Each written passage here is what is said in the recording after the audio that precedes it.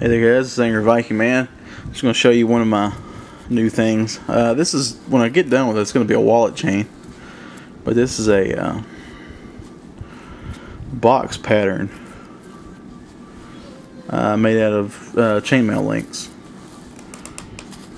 Um, you could do it as a bracelet, but it's really thick. It's, I mean, compared to my finger, it's about the same size as my finger. My it's really thick.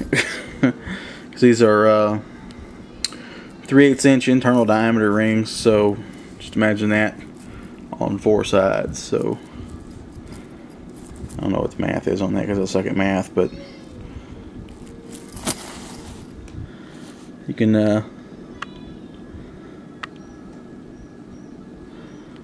zoom out just a little bit so you can see the detail a little bit better, but it's pretty cool. It's not that heavy. Um, this is, I think, about 10 inches. It's going to be, I don't know, maybe two and a half feet whenever I get done with it. Um, the this is this is about 50. Well, no, it's probably more like 60 or 70 rings um, worth of. You know, this this took me about an hour just to do this 10 inch piece. Just thought you guys might. Ooh, that's crazy looking. I want to see that. Just give you some ideas of what things you could do with uh, chainmail. And you can see it, you know, it folds real easy.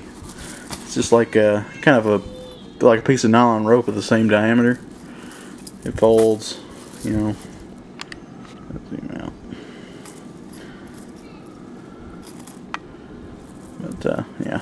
Anyway, so you guys might want to see that. Angry Viking Man signing out.